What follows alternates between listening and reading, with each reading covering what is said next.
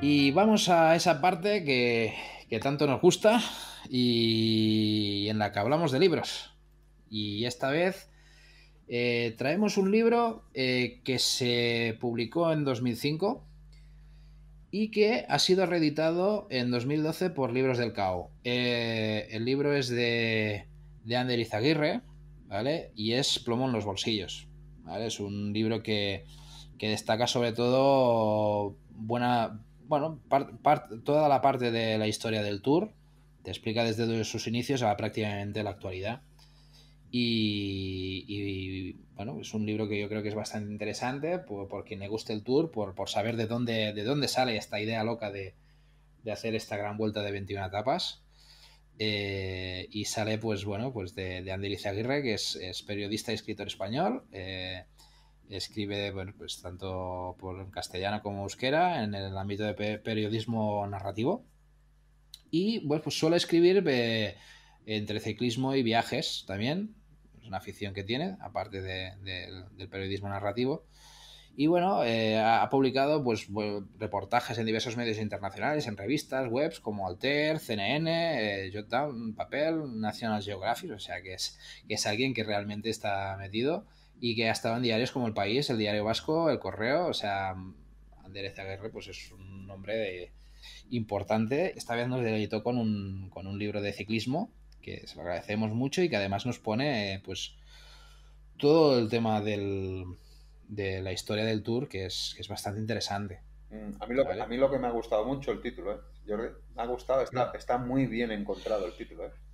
Plomo en los bolsillos. Eh, la verdad es que sí, porque esto viene de, bueno, de una de las anécdotas buenas de, que Periser, el ganador del Tour de 1923, protestaba directamente de, la dureza de la carrera y de todas las trabas que, les ponían y que soltó la frase de, que pronto nos colocarán plomo en los bolsillos. Mm. Para, porque al final eh, el tour al final era un era espectáculo, eh, todo se definía por el tema de vender. Eh, además, el, digamos, el creador del tour, Henry Desgrange, es, es el, también el director del diario mm, L'Auto y, que es, eh, digamos, eh, su intención era vender periódicos a través de la carrera. O sea, su gran intención para crear el tour fue esa. Vender periódicos y, y, conseguir atraer a la gente al mundo del ciclismo y, y dar, dar, espectáculo, ¿no? Y, claro, lo hacían todo para, para llegar a un punto de, de, que, de, de, que los corredores eran prácticamente los, los, los hombres utilizados para para dar este espectáculo, ¿no? O sea, eso es fuerte, ¿eh? O sea, eso es la parte de que el ciclismo es duro. Así, empezaron muchas de las carreras, con, un rotativo detrás y, bueno, la Gaceta del Sport eh, es rosa, ¿no? Y, Exacto. Es que ahí está la cosa y muchas otras que tuvieron detrás a, un, periodista o, un editor o, una compañía así, ¿no? Recomendar este libro porque creo que tiene historias muy interesantes eh, a mí hay un par de, que me gustan bastante, eh, que os pongo un poco en situación, como por ejemplo lo del Tourmalet, ¿no? El Tourmalet es una, una montaña que todos disfrutamos, ¿no?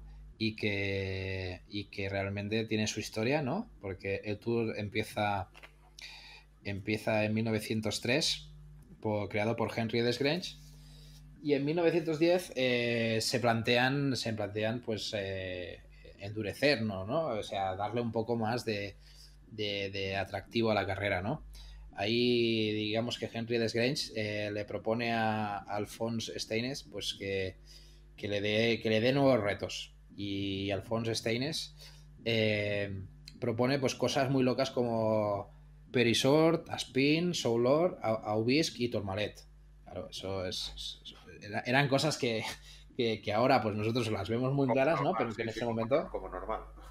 Claro, como, como que sí, coño, hay una carretera y por ahí suben ciclistas, ¿no? Y, eso en esa época, eso no existía.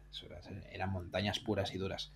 Y la, respuesta de Desgrange es, es simplemente de, si no eres capaz de franquearlo, eh, olvídate y, y, Steiner se lo toma como, como un reto, de hecho, como, un reto, básicamente se lo toma como un reto. Y es muy curioso porque Steiner lo que hace es, realmente eh, irse al Tourmalet, por ejemplo, se va a la parte de San Marí de, de Campan y ahí consigue convencer a un tío para que lo suba con coche hasta que el coche no puede más.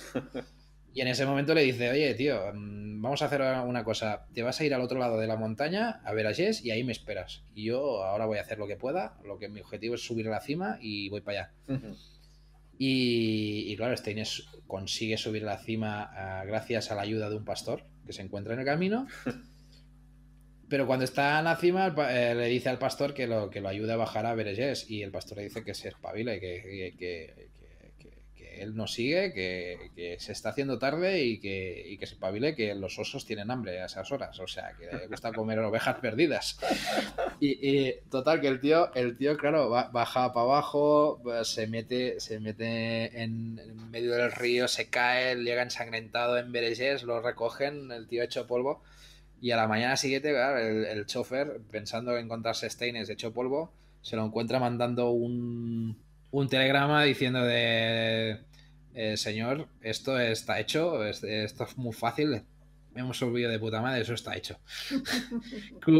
cruzado el Tourmalet, stop, ruta en buen estado, stop, ningún problema para ciclistas, stop. Saludos, Steines. Y ahí, con un par de huevos. y, y esa, bueno, historias como esta muy buenas, hay muchas en el libro. esa historia termina pues que en la misma carrera en el Tour, eh, uno de los corredores eh, termina eh, la etapa de Aubis, que es una de las que abren, llamando asesinos a los, a los organizadores del Tour. O sea que realmente hicieron, hicieron cosas muy bestias. Y eso pues lo pone todo en, en situación Ander Izaguirre en estas, en estas vivencias. La, verdad es que hacen mucha gracia también porque tienen detalles que, te ríes y que, y que piensas cómo podían ser esas cosas en ese momento. Sí, esas locuras. Pero, pero, pero era muy bestia. Y las advertencias de salida, cuidado con los osos. la salida... Sí, sí, lo que le dijo el pastor. Por eso te digo que son, son historias que hacen mucha gracia. Y, y luego, por mira, por también otra historia para que recuerda este libro es, que hace poco también fue, fue el, el, aniversario fue el tema de Tom Simpson, la muerte de Tom Simpson.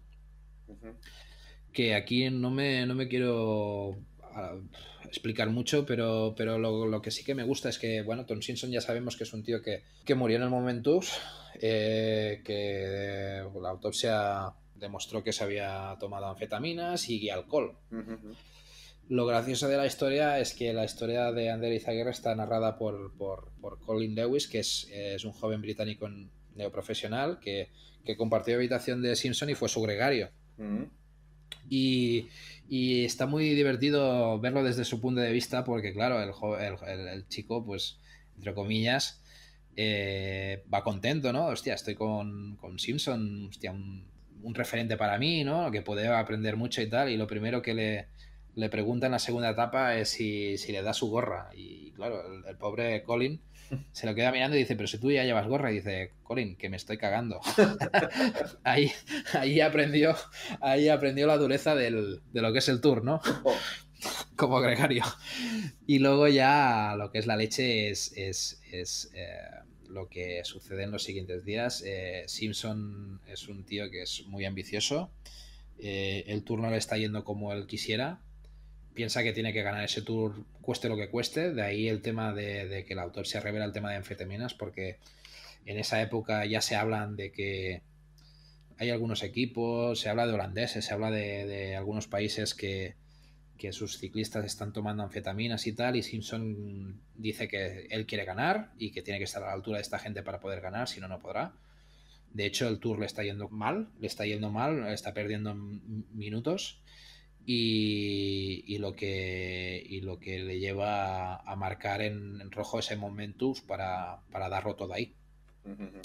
Ahí en ese Momentus pasa una cosa muy curiosa y es que en estos tours eh, hay una cosa que es muy graciosa con los gregarios, que, es lo que se llama el café ride. ¿Sabes lo que es el café ride? No, no, no. Eh, el café ride es un sistema de que los gregarios, eh, cuando pasaban por los pueblos, lo que hacían es ir en manada, se ponían de acuerdo los varios equipos. y se cogían unos 20, paraban en un bar y lo saqueaban, literalmente. O sea, corriendo, cada uno por su lado, el, del bar corriendo.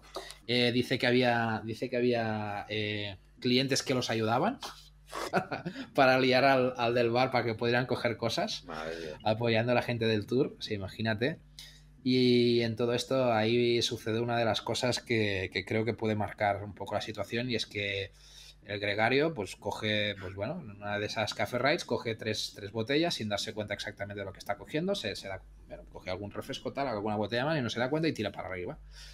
Total, que cuando vuelve a la carrera, eh, eh, falta un poco para llegar al Momentus y, y, Simpson le dice, oye, dame algo que necesito beber, que has cogido, le da una Coca-Cola, se la mete de un trago y le dice, oye, dame algo más, que tienes más, y saca otra botella y en ese momento se dan cuenta que es un coñac de, de Remy Martín.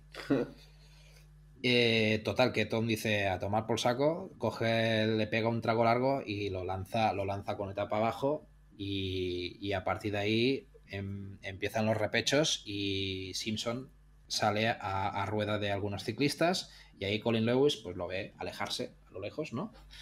y sigue su trabajo de gregario ya hecho, ¿no? Dejando ya la, digamos, el, sufrimiento final para los líderes. Y él va subiendo a su ritmo. A lo que, a lo que oye la noticia de que alguien se ha caído. Y poco más adelante ve en la cuneta a alguien que lo está atendiendo un médico. En ese momento, el. Claro, eh, Colin no, sabe, quién es. No sabe ni quién es. No, sabe ni quién es. El tío tira para adelante mm, le entran las dudas, pero llega a meta y nadie dice nada, se va al hotel y en el hotel le confirman la muerte de, Simpson. Eh, claro, quieras o no, ahí todo el debate interno del, gregario, lo que le pasa por la cabeza, si eso es culpa suya, si, si no, si... Y, bueno, eso es un poco la historia esta de Tom Simpson contada por Andy Izaguirre, que, que hay muchos detalles por descubrir y que luego os he contado muy por encima, que, que vale la pena ver, ver estas dos historias, más todo lo que cuentan de otras.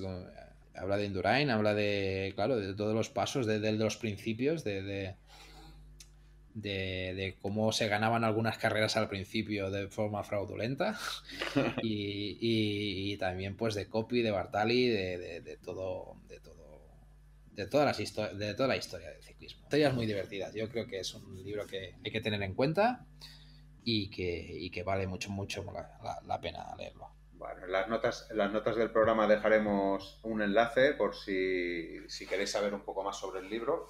Pero vaya, yo creo que queda claro que es un libro que todo amante del ciclismo tendría que tener en su biblioteca. Sí, sí, y amante de y los amantes del tour aún más. Bueno, y de las historias pues en definitiva. Exacto, porque, exacto saber de dónde viene y, y hasta dónde ha llegado esta. Pues eh, muy interesante, como siempre, el libro y intentaremos traer más libros a, Ciclismo de ayer y de hoy, porque era una de las cosas que teníamos entre, entre ceja y ceja, hablar de libros, hablar de ciclismo. Y, ya está, yo creo, Jordi, que, el segundo episodio lo tenemos. Creo que hemos hablado largo y entendido de todo lo que ha sucedido esta semana. Y, nada, invitar a todos los oyentes, a, si quieren saber más, si quieren seguir más el día de la actualidad, pasarse por la, por la web ciclismoayeroy.com, que llevamos una semana dándole caña al asunto y, la verdad es que, está yendo bien porque estamos recibiendo bastantes visitas y estamos intentando, pues eso, explicar historias. ¿eh? Explicar historias que contamos en el podcast, explicar otras historias. Sí, sí, pues, pues un placer de, hacer otro episodio más y, que podamos seguir y, esto pues con muchas ganas y mucha energía. Para adelante a tope y, muchas gracias a todos por seguirnos y por, y por seguir tirando esto para adelante. Bueno, me voy a quitar ya el mayote. Eh, ya toca, ¿no? Yo creo que está, está sudado. E, ese ya está, está sudado ya, ¿eh? Me aprieta, me aprieta, me aprieta. Me aprieta la, la, ducha y, y, relajarse. Venga, un abrazo, Jordi. Hasta el próximo. Venga, un abrazo. Y si os ha gustado, recuerda que puedes escuchar el programa completo en Evox, Spotify y la mayoría de las plataformas conocidas. Esta semana hablamos de Chris Froome, repasamos la actualidad y resultados, y del libro Plomo en los bolsillos de Ander Izaguirre. Visita nuestra web www.ciclismoayerhoy.com donde estarás al día de todas las noticias. Y también puedes seguirnos en Twitter e Instagram arroba ciclismoayerhoy.